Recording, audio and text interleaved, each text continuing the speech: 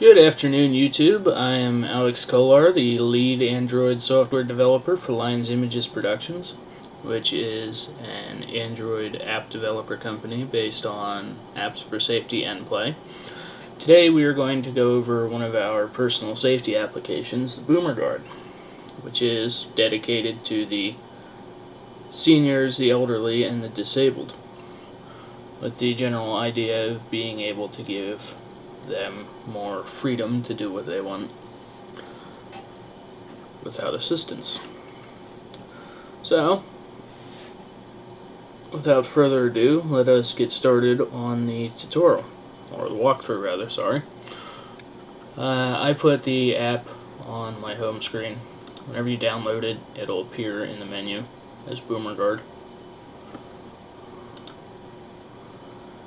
So I'm going to click on it when I do, I get greeted with an Enable GPS pop-up, which I'm going to click Yes. From here, we only have to focus on the Use GPS Satellites option. Make sure it's checkmarked, and then hit the back button.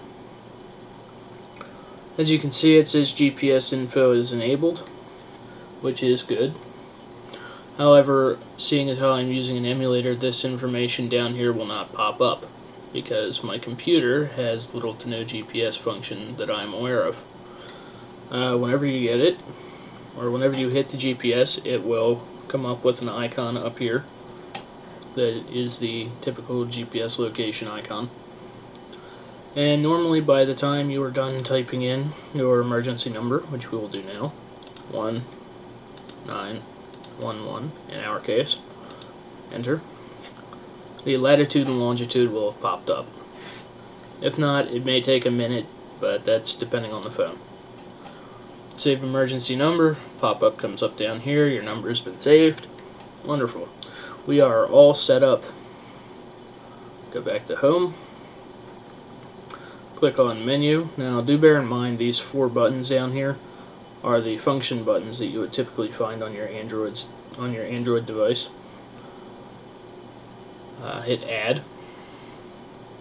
Widgets. And boomer guard will be in the menu.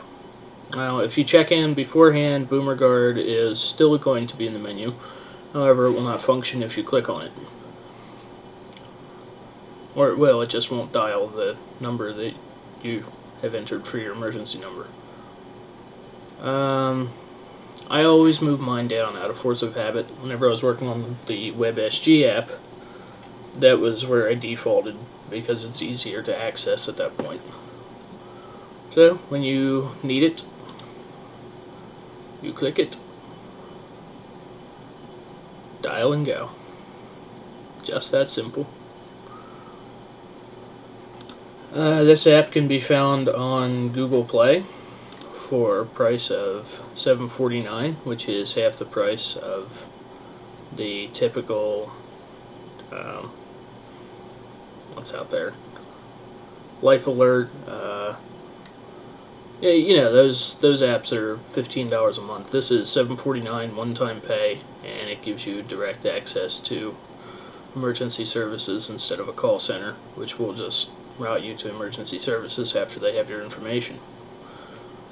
So, anyhow, thank you for considering us, and have a safe